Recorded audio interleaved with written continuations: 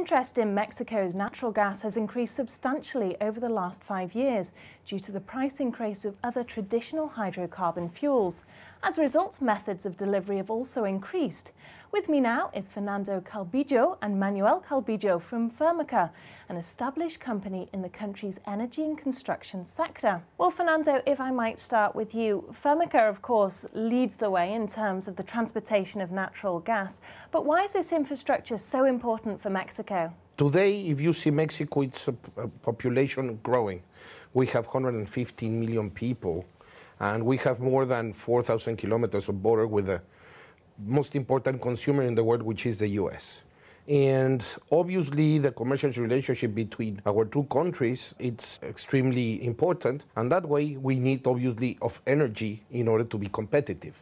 So building infrastructure today and having access to the cheapest gas in the world, which is in the United States, help us in order that we can be extremely competitive.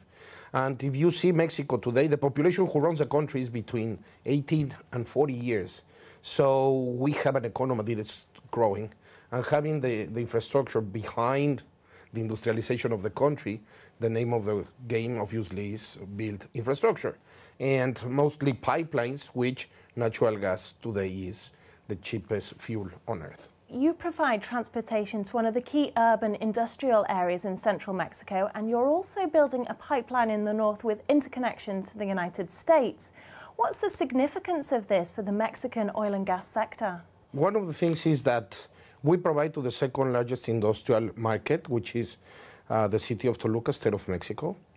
And uh, that project uh, was in operation since 13 years ago. It was our first natural gas project as an operators and owners. The second project that we had, that actually we have now in, in operations, which is the called Tarahumara pipeline, can move up to 20% of the consumption of the gas of the country. So this asset is extremely important because in the north part of Mexico, there's an important hub of production of uh, electricity which we will be able to supply. And we have the flexibility to go and interconnect our system with very liquid hubs of natural gas with very cheap price. So as we are an independent pipeline company, we can be importers of gas and we can take advantage of bringing that competitive fuel to Mexico. Well, what sort of challenges did you have to overcome for this project? Putting together the financing, we did in-house all the financing. We had to lead with seven banks. And it was the uh, first pipeline project to be financed by, by, by this type after the Lehman Brothers crisis. So it was a challenge to uh, the acquisition of the rights of way, the logistics of the project, and obviously due to the security that we have a problem security at the border of Mexico, uh, to take care of our people. So I think those were the four challenges that we faced. But even though that happened, we had zero accidents, zero incidents, and the pipeline was in service one day before that it was requested by our clients. Well, Manuel, Fermaca guarantees an uninterrupted supply of natural gas. How do you ensure this? You know that it's uh, on our on our service. Uh, the pipeline is has a reliability of 99.97 percent. So actually, how we do it is that we run a state of the art operation. We have our automatization system, which is called SCADA system. Uh, basically, uh, we are the only pipeline company, I would say, within Mexico that we have our own satellite signal, so we don't rent from a third party. So we ensure that by having 24 7, 365 uh, operators in Mexico which they are in front of computers all the time.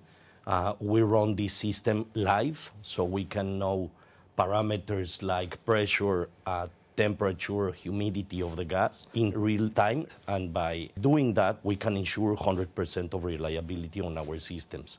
Well, Fernando, of course there is rising demand for oil and power in the region. So how do you manage things like prices and shortages? Unfortunately, the production of oil and gas in Mexico has been declining because our main sources of production, obviously, they're going down.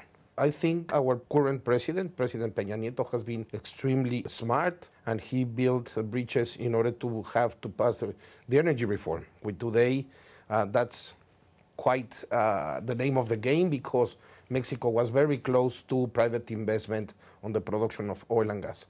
Right now, uh, the government is working on the secondary laws in order to see how this is going to work. But in the case of natural gas, I think we will be very eager to build infrastructure around the US so we can have access precisely to gas and make our corridor an important utility for the production of electricity, as my brother said, and as well what we want is to develop a set of industries all around so we can make an important industrial hub around these 400 kilometers of pipe that we have. Gentlemen, thank you. Thank you. Thank you.